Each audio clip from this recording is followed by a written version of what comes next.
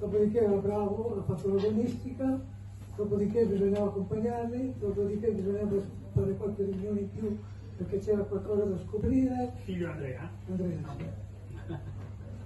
Poi lo chiamiamo qua.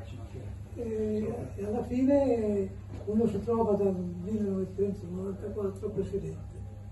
Così, tutto in un botto. No, devo aver studiato È il molto. sogno del Eh, massimo, eh. eh. Per esempio al 94 è il sogno del massimo. cioè, No, sono stati anni interessanti senz'altro, perché la, la- la ginnastica è uno sport meraviglioso perché è difficile,